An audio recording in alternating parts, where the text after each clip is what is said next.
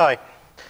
I'm going to talk about flash memory. A lot of you have used flash, but um, I believe that anybody who works with computers should have a proper understanding of how, how they work. Kind of, this is a transistor, this is how we make logic gates from it, and building up into bigger and bigger sort of black boxes. Um, so I'm going to do that with flash to a certain extent. Um, I'm going to talk about what, is, what flash is, how it works, how we put it together. Um, and then I'm going to talk about why it's special, what we have to do to cope with the characteristics of Flash when we are trying to reliably store data on it. Um, I'm going to talk about the methods we use to store data on Flash, the translation layers, which are um, the common method you'll use in, um, you'll see used in consumer devices to make Flash look as if it is a hard disk and other potential approaches like file systems directly on the flash media. And I'm going to talk a little bit about the software we have in Linux, the drivers for supporting flash directly. So this is a transistor. Well, kind of.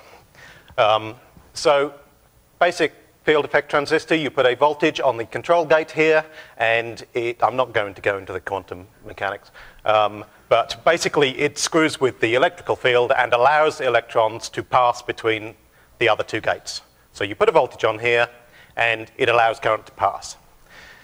What's different in a flash cell is we have this floating gate here, an island with you know, insulation around it, and you pump electrons into that.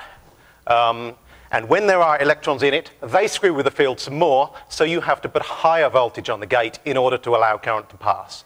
So basically, when the cell is programmed, it has electrons in the gate, the, the floating gate there, and you can tell whether it's programmed or not by looking at the voltage you have to put on the control before the current will pass between the, the source and the drain. So that is basically a single flash cell, a single bit. Um, originally, we would wire this up in an arrangement similar to this, NOR flash. Um, so for the, the bit line that you read out, or that you program, um, any individual cell would pull that down to ground and you would see the difference.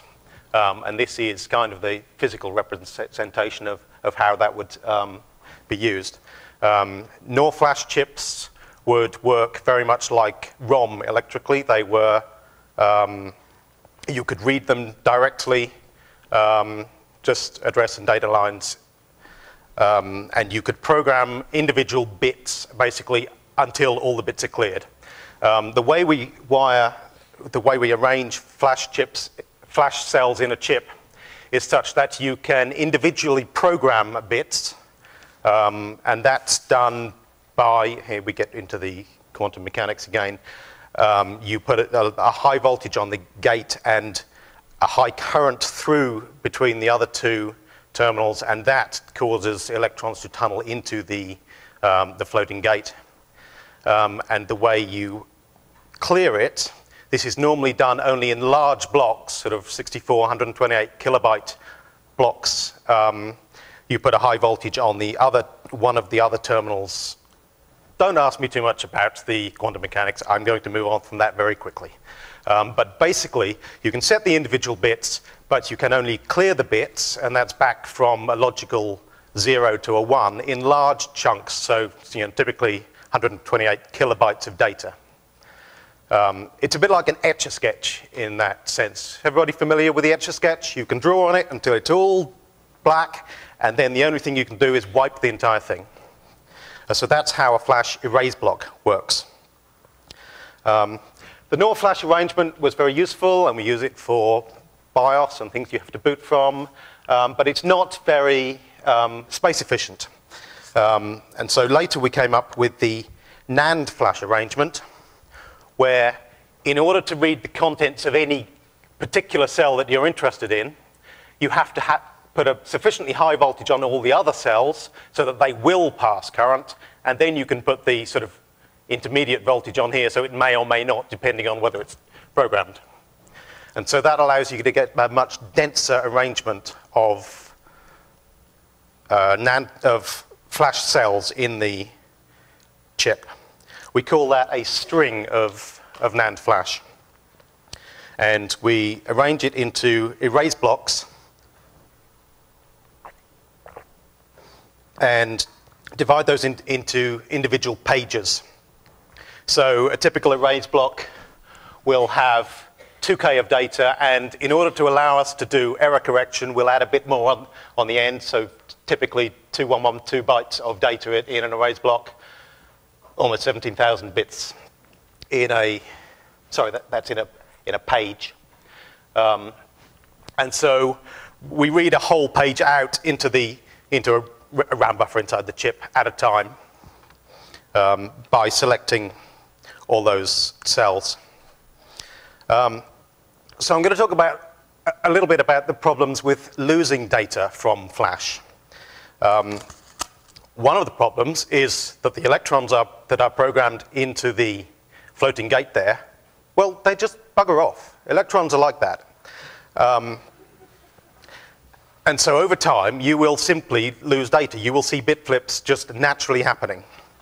Um, with repeated programming and especially erase cycles, you will also find that the insulating material breaks down, charge builds up in it, and that actually is what contributes to the limited lifetime of flash chips. You've heard that you know, certain flash chips may have a million erase cycles. These days it's going down by orders of magnitude. So we're talking about 100,000 erase cycles per erase block before it's just useless and you can't use it anymore. 10,000 in some of the latest chips. And that's because of the charge buildup in the substrate, which causes you know, leakage to be so fast that it, it's, it's useless. And the other two ways that data get lost on flash chips, I'm going to talk about in a little bit more detail with diagrams, are read disturb and write disturb. So read disturb is basically the act of reading the flash will tend to degrade the contents. And write disturb will not only write to the cells that you're actually intending to write to, but they will also tend to cause bit flips in adjacent cells. So here's a, an example of programming a NAND flash. So you put a high voltage across, so there's 20 volts across. The, the numbers are mostly made up, but for example, there's um, a 20 volt um, potential difference on, across the um, control gate there of this particular cell and this one, the one that we're trying to program. So this down here is a page, and these bits we're leaving at 1, their natural erased state as we program this page, and these bits are being set to 0. Um, so these bits will be programmed, but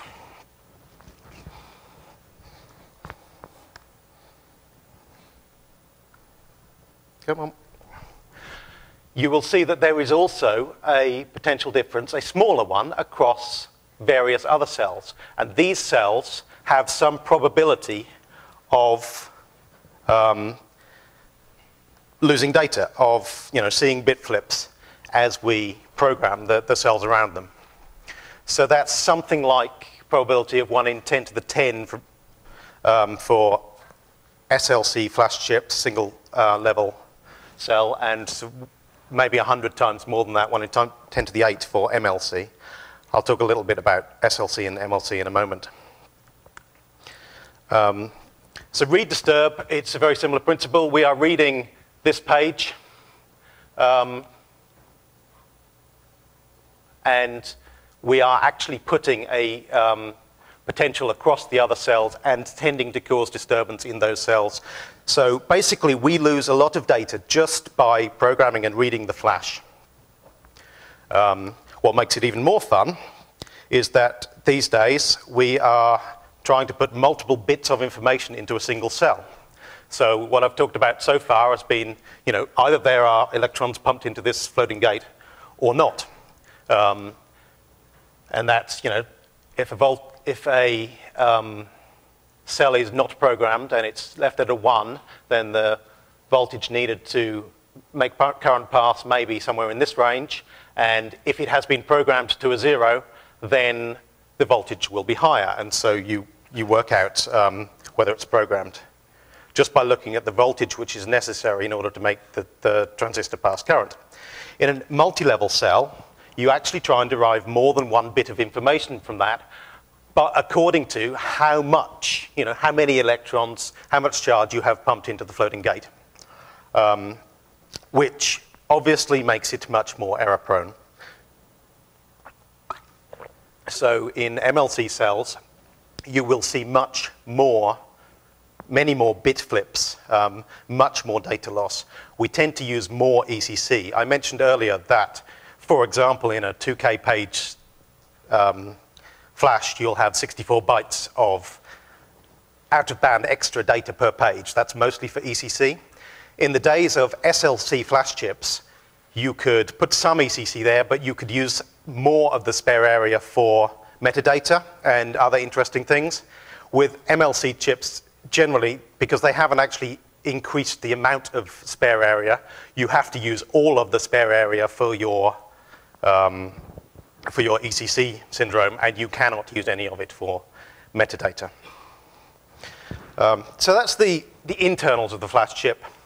Um, the way it's presented to the host generally um, is with a, a fairly uniform interface. Um, there's a little controller and RAM buffer inside, so you read and write pages you know, to this RAM buffer by sequencing them, them in on the data bus.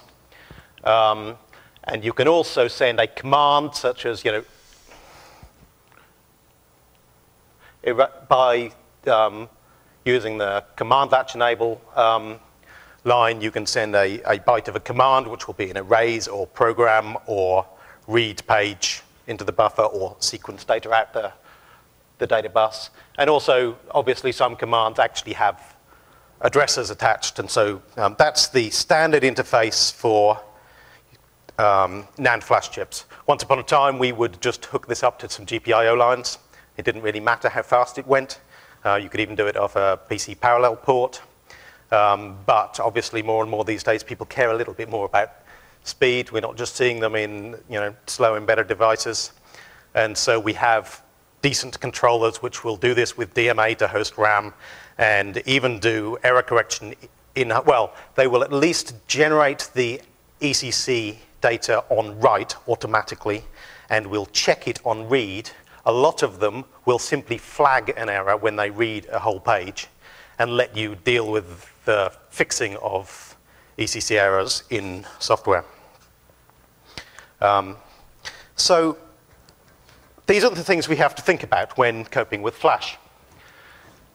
I mentioned error correction. We have to cope with the fact that there will be bit flips, and these may happen randomly. We will, even if there are pages that we never really care about, it's a bootloader on a machine that only gets booted once a year, you do have to go back and read those static pages periodically at runtime before you have to reboot um, so that you can notice a bit flip and perhaps read the page, correct the errors while there are still few enough to be corrected, write out the data elsewhere. Um, we have to cope with bad blocks. Some blocks go bad, some blocks are marked as bad as they leave the factory, and you must never use those blocks. You must never try to erase them because the world may end if you do so, according to the data sheets. Um, so we have to handle bad block management, and we also um, have to handle wear leveling. Um, not going through the slide in order, um, but that's good because you shouldn't just read your slides, should you? Um, so we also have to handle wear leveling because over time the um, the cells break down and so start to become unusable. What you don't want to do is wear out for example, if you're using a FAT file system on top of a translation layer, you do not want to wear out the erase blocks that you tend to use for your FAT long before the rest of the device, and thus render it unusable when it didn't need to be. You want to wear out the um, flash relatively evenly so that you can extend the lifetime as much as possible. Um, one of the things that's come into play in recent NAND flash chips, well, at least in the last five years rather than 10, um, is that you must program the pages sequentially. So within an erase block, um, you must program the first page first and then the second, etc. And this is to reduce the amount of program disturb, because if you were to write blocks in a random order, you would tend to cause more bit flips in the surrounding surrounding blocks. So the data sheets now say that you, you should start at the beginning and work towards the end. Garbage collection, um, this comes about because of the, the etch-a-sketch nature of the erase block. Um, what will happen is you've filled up a, uh, a block with data, some of which are still valid and useful, but some data belongs to deleted files or something else and is no longer relevant. Um, but once whole, the whole of your flash, or hopefully slightly before the whole of your flash has been written, you've got to start thinking about making space for new writes. So what you need to do is consolidate the still valid data from these part valid, part invalid erase blocks into new erase blocks. So what you do is you copy the bits that you still want and then erase the, the victim erase block um, so that you've gained space. And the, the most fun we have is with MLC Flash. I mentioned that you have two bits, or you know, sometimes more. We're talking about three bits per page. I think even four bits per page now. Sorry, per cell. Um, they don't put those bits in the same page so that you read and write them at the same time. That would be too easy. The reason they don't do that is because um, basically you have to program the, you have to pump enough electrons into the floating gate um, to get all the way from a zero to the, the three level in certain cases if you're programming two zeros into the two, the, into the pair of bits. Um, and that will either be slow, if you have to go all the way to a three, if you have to pump three handfuls of electrons in, or you have to pump it harder, in which case you cause more program disturb. So what we do is we put the separate bits of information in the, in the multi-level cell in separate logical pages, so that when you're programming the first, you only have to pump two handfuls of electrons in, or none, as the case may be. And then when you're programming the second, you pump, pump one or zero for the, the least significant bit which leads to great fun because when you program your first page, you might think, yay, my data are committed to the medium, everything is happy, I can return okay from my fsync call, etc. But when you later come back and program the other page of that pair, if you get power failure, something goes wrong when you're programming that page, you can lose the information that was in the first logical page. And just to make it even more fun, because we love working around hardware in our software, um, they don't even make them adjacent pages. Often it's page zero and three or something else, and they don't always tell you which pages they are either. Um, so yeah, MLC Flash, not my favorite thing. Um, so that's, yeah, those are the problems we have to deal with. Um,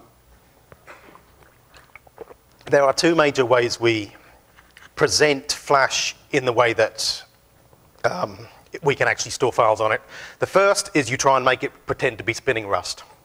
Um, this was really useful in the days of DOS, where we had to provide an int13 disk BIOS handler, and that was the only way to do it. We couldn't really sensibly do installable file systems, although we could eventually. Um, and it also makes a certain amount of sense because you can then just put it in a black box and stick it on an IDE bus, SCSI bus. There are some advantages to this approach. Um, so I'll talk a little bit about how a flash translation layer works. It is basically a file system. It's a file system that kind of presents one file, which gets random access to individual 512 byte sectors within that file. Um, so this is an old example of a flash translation layer. It does violate the rule I mentioned earlier that these days you mustn't write pages out of order, but it's an example of, of how it might work. So you, it would have, um, it would also be on SLC Flash and it would um, be able to use um, metadata in the, the spare area of the flash. So it would, um, it would be able to mark um, each sector with the sector number that it actually represented. Um, the logical disk was divided up into erase block size chunks, virtual erase blocks, and each virtual erase block of the disk was represented by a number of physical erase blocks. And so I'm just going to consider one chunk, the, you know, the first, the first, say, 128K of the disk. Um, so imagine the first two sectors, the boot block, um, have been written, um, and that's it. Very, very, very simple. So the, the data have been written, and we've got the little metadata in the spare area saying, you know, this is sector one, this is sector two. And then um, they are overwritten, and um, sectors one, two, three, and four are all written. And what we do is we make a chain of erase blocks. So both of these physical erase blocks represent the same um, virtual, era virtual erase block.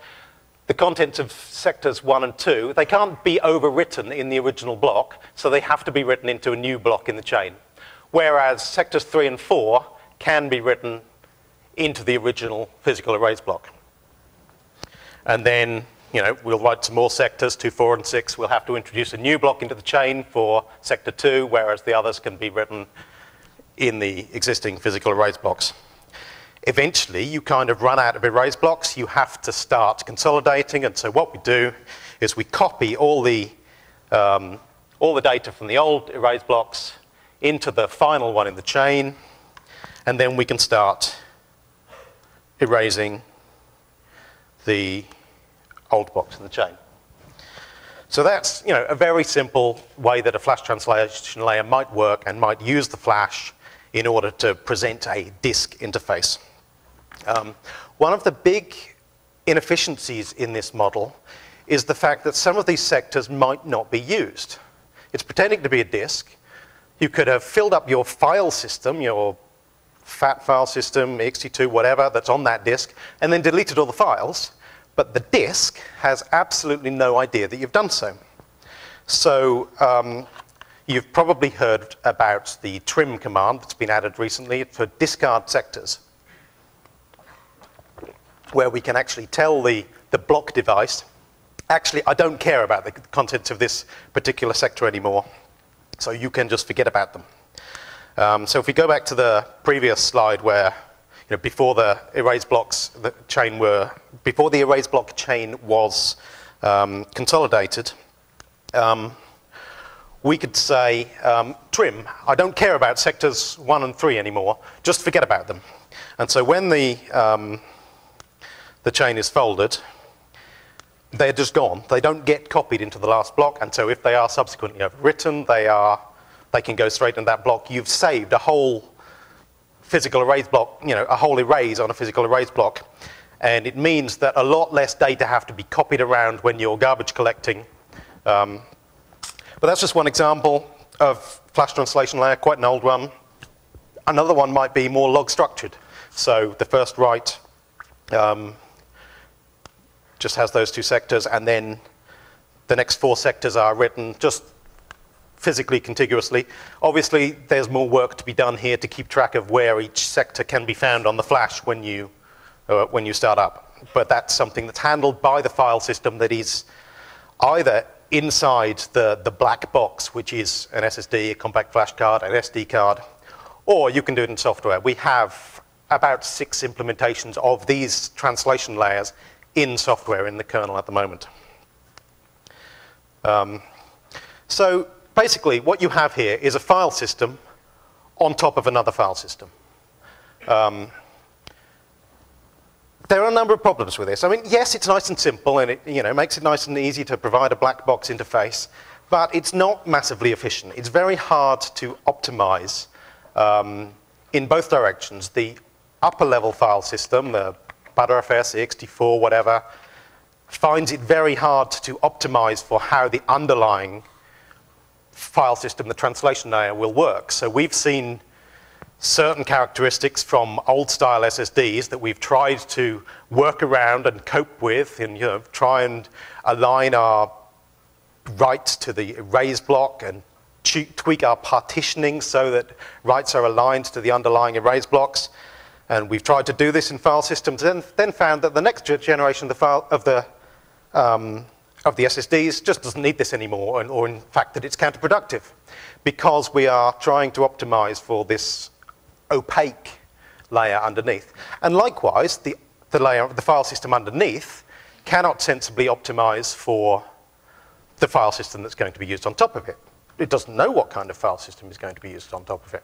We have seen some fun things with this, though. We've seen compact flash cards which will assume that they're going to have fat used on them. And this predates trim, but they thought this trim thing, that would be really cool. It would be nice if we could know when certain sectors weren't used. But hey, look, when they write to this block, that's going to be the fat. So we can see when they've cleared this cluster and said that it's unused, and then we can discard the contents of those sectors over there. How cool is that? That's lovely if you're running fat on it. Not so lovely if you're running anything else. So yeah, there are problems with the layering approach of one file system on top of another. Another is garbage collection. When we have to do the block folding or the um, you know, other kinds of garbage collection or just wear level, if we see a bit flip and we decide that contents of one physical erase block need to be written out elsewhere, that is an ideal time for the upper layer file system to defragment or otherwise optimize its data. If it's an extent-based file system, it could then um, reorganize that data as it's being copied. Um, but if you have the layering there and you don't let the upper file system see that, then you miss the opportunity to optimize the data storage as you're moving it about anyway. Um, one of the other things we really care about with garbage collection is we want to separate long-term data that's just going to sit there forever, like your kernel for most normal people who don't change their kernel every day. Um, that's just going to sit there. What you don't want it to do is live in the same block with the atime of libc. Because what you want to do is keep long-term data together in blocks that don't get changed very often and short-term data together so that when you um, pick a block for garbage collection, it's actually mostly stuff that doesn't matter anyway, and you don't have much copying to do in order to do garbage collection. And again, the real file system can have some clue about how long individual blocks are going to last, um, but the layering doesn't really offer you that. And likewise, transactions. Um, the lower level file system, the translation layer, has to provide um, guarantees about you know, what will happen in term, you know, in face of power failure, etc just as the upper layer file system has to provide the same, well, very similar um, atomicity guarantees. And it, it can be very efficient to, do, to have both of those. But actually, it's not so inefficient because mostly the um, flash translation layers don't get that right anyway. If you do any power fail testing on most SSD type devices, you'll just find that they crap themselves. Um, and they can't actually mount their own internal file system, and so the whole thing goes south. You've basically got a little brick. Um, and that's a problem because you don't actually have any access. If it's a black box, you know, separate device like compact flash card, you don't have any access to the underlying medium to do any kind of file system check on it or recovery. Um, so you're just kind of screwed, really. So we, you know, we, we reckon it takes maybe five years for a file system to come to maturity. Btrfs, so how many years before people will really start trusting Btrfs for their mail spool? Who's already doing so? You're mad. Um, you know, who will think about doing so in a year's time? Two years? Three years? Yeah. So we reckon it takes a number of years for a file system to really come to maturity. And they were talking about an open source file system where we can poke at it, diagnose it, debug it, um, and look at what it's doing on, on the underlying medium. Now put that in a black box, have it written by the same crack-smoking hobos they drag in off the street to write PC BIOSes. who, who wants to trust their mail store to that? Right. So there is no fundamental reason why this should be broken. There are some efficiency concerns about the pretend to be spinning Rust approach, which are mostly, the, the biggest one of those is trim. Um, and once trim is actually implemented sensibly, um, that will deal with the biggest efficiency concern. In fact, trim is mostly implemented quite badly at the moment. It's supposed to make things go faster, but it's so slow that the current implementations, I think Btrfs has it disabled by default, um, even on devices which claim to support it. But yeah, the efficiency concerns are there. The reliability, that is not a fundamental issue. It should not be like that. It's just that in practice, it always has been a problem. So um, the other approach is to have a file system directly on the flash. Now, I've actually spoken in Brisbane at LCA on the JFFS2 flash file system a number of years ago. I'm not going to go into too much detail about that, but I'll talk a little bit about the support we have in Linux for um, dealing with flash directly. So the, the support we have at the moment is showing its age a little bit. We have synchronous read and write APIs because in the old days it was all bit banging and nobody really cared about you know, DMA and queuing. We need to fix that. We're working on a new API that looks a bit more like the block API in that you just queue up a whole bunch of things you want it to do and it tells you when it's done. Um, it did have an asynchronous erase because that, that could take seconds um, back then. It handles the error, error correction and has various um, methods for dealing with different types of software and hardware ECC. And it handles bad block management. So one of the things you'll find in NAND flash is that one of the bytes or some of the bytes in the spare area will be zeroed when you get a virgin flash from the factory. And that's how bad blocks are marked. But we don't want to keep that as the way we mark, we remember bad blocks for you know, all the time that we're using the flash, partly because that involves going and looking at the spare area of every block, and partly because it means you can't use that byte, you know, byte three or whichever it is, for data, because if it ever actually got normally written with a zero, then that would suddenly look like a bad block next time, next time you scanned it. So what we do is we set aside a few erased blocks for redundancy, um, and we have a table, um, and when we take a virgin flash, we make a bad block table on the flash, remembering which blocks are bad, and we can mark blocks bad later as, as they start to misbehave um, by updating that table on the flash. And so the, the MTD support in Linux provides all of this functionality um, for, for users of MTD devices to, um, to take advantage of. Um, and also, recent, a more recent development from IBM and Nokia is UBI um, for unsorted block images.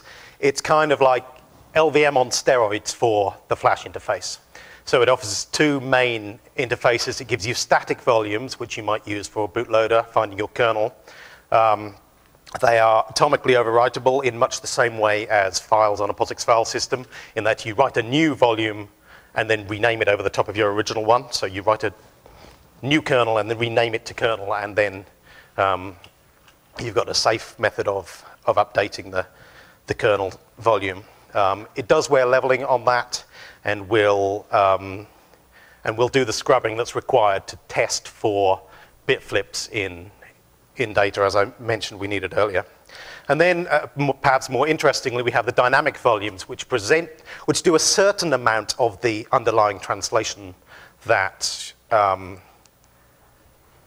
that flash translation layers do, but they don't force you into the whole, you know, atomically overwritable 512 byte sector thing. So it basically gives you a simple logical to physical mapping. So you deal with logical erase blocks, and UBI under the covers maps that onto a physical erase block. And when you say, I want to erase this logical erase block, it only needs to unmap it. It doesn't, have to erase it immediately. Erasers can be quite slow. It just has to say, okay, there is no physical erase block um, associated with that logical block anymore. And we have um, UBIFS, a file system written at Nokia, shipped on the N900, um, which makes use of this and provides a proper file system on top.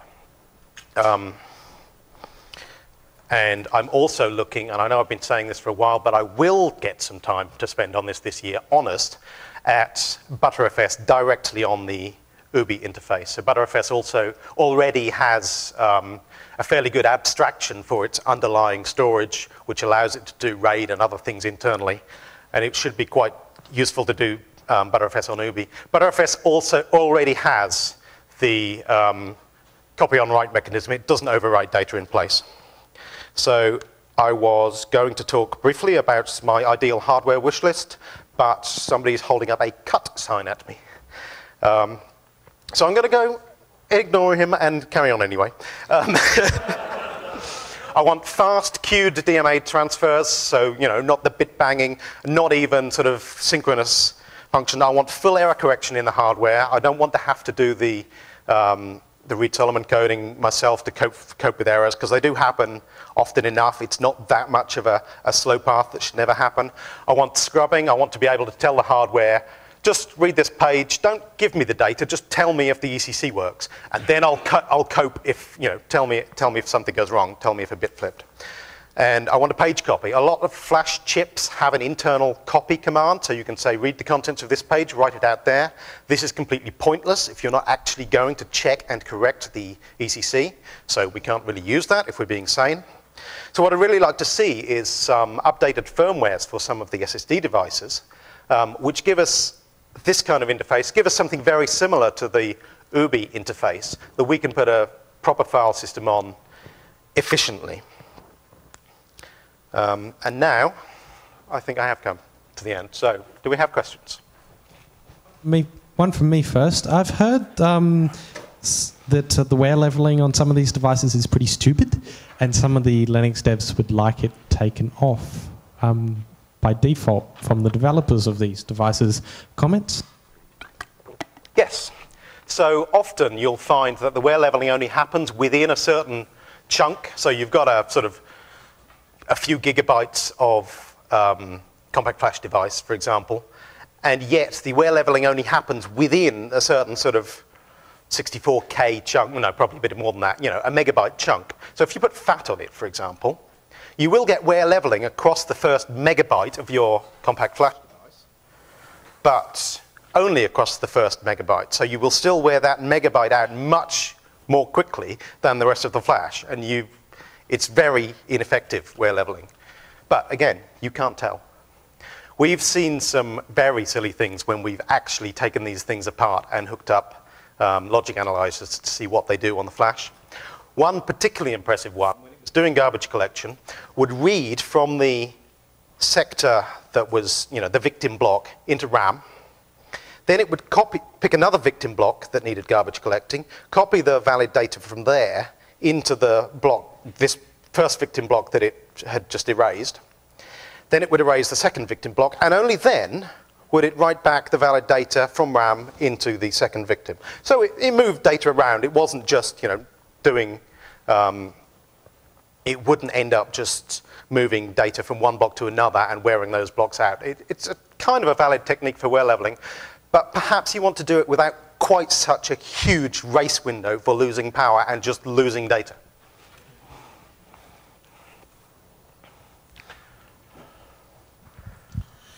Um, trim uh, marks a block as not needed anymore. Is there an untrim, or what happens? What happens after you try to read a trimmed block? Does that mark it as dirty again, or, or what happens? When you try to read a trimmed, why would you try to read a trimmed block? Yeah, um, that's the st standards committees have said that the, the contents are undefined, I think, but they do want to always receive, read, read the same data afterwards. So if you trim a block and read it once, it doesn't matter what you get back. You're not guaranteed not to get the original data. Trim can do nothing. It's an optimization. It's not for secure delete.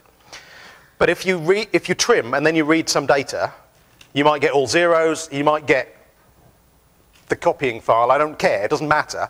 But whatever you get the first time you read after trim, you shall get it the second time. It, it shouldn't just change randomly. That, that's the only thing that, that you can really get, know.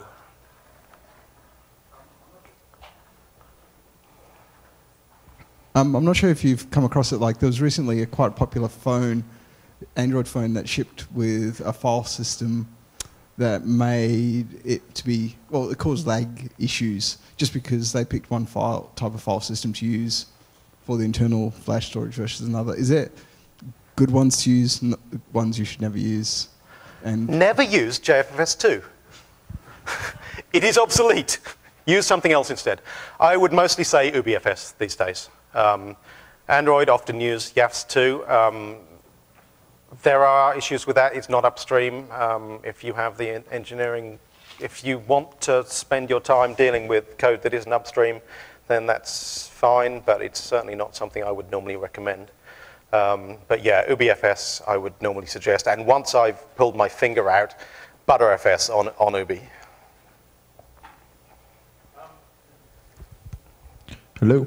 Um, so Intel make SSDs. Do uh, they? in, uh, Intel SSDs saner than other brands. Uh, would you yourself use an SSD, and if so, which brands would you be more likely to use over other brands? Next. I use an SSD. I use an Intel SSD. It's very fast. It, it works very nicely. I keep Git trees on it. It builds fast. I don't keep my mail store on it. Do you want me to answer more? yeah, some of them are better than others. There is no fundamental reason why um, they have to be unreliable. The Intel ones, um, even if they weren't paying me, I would probably concede that they are amongst the best. Um, they do a fairly good job of making this stuff work right. Um, I realise you work in a totally different area. yeah, yeah. Um, so yeah, um, some of them are better than others.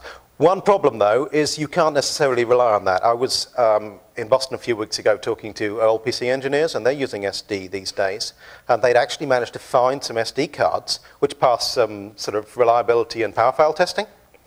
They say, yay, this is brilliant, let's have some more of these. The next batch, they're not so good. So they took them apart, completely different hardware. Same manufacturer, model, everything, just a different batch. It's a black box, you cannot trust it. Um, from the uh, point of view from an end user who can't really know whether to trust the, that black box, can you recommend any utilities that can be used, say, to do write tests on a machine and send the results over a network and then randomly pull the power um, out to kind of see Off the top of my head, no, but if you send me email, I can hook you up with, with that kind of thing. Yeah, certainly we have done that kind of power fail testing on JFFS2 and UBIFS and on various sort of compact flash and other types of devices, and these scripts exist. Do any of the uh, the flash devices do uh, soft detection, error correction, uh, Viterbi codes, or something where you've got an analog signal coming out of the the flash read? Um, if the uh, if the ones and the zeros start blurring into each other, soft detection can let you sort it out with the error correction code, but only if you still have the analog signal.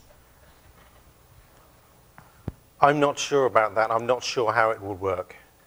Um, bear in mind, that if you go back to the MLC diagram, how do you tell the difference? I suppose you can tell that it's kind of on the borderline between a. Yeah, I do not know. Last question. I just wanted to ask. So I guess what I'm kind of getting, what I'm hearing from out of all of this as an end user, that um, having my operating system and apps run on an SSD, so I can get fast execution, which I don't really care about because I can just reload that operating system, and I don't really care if I lose it, um, is perfect, and that's going to give me that extra boost. But storing my actual data and, and stuff, I should still be using a SATA IDE drive. Is kind of what I'm hearing. That, yeah, I think so. No, no, that, there are problems with all kinds of data storage. You've got to do, you've got to do backups. You've got to check your backups work. But yeah, at this point, I would certainly suggest that you should be more careful about checking your backups work if you are storing your mail spool on any kind of flash device. And it's not entirely clear that you know our file systems directly on flash are perfect either. But at least if they screw up, that's our fault and we can fix it.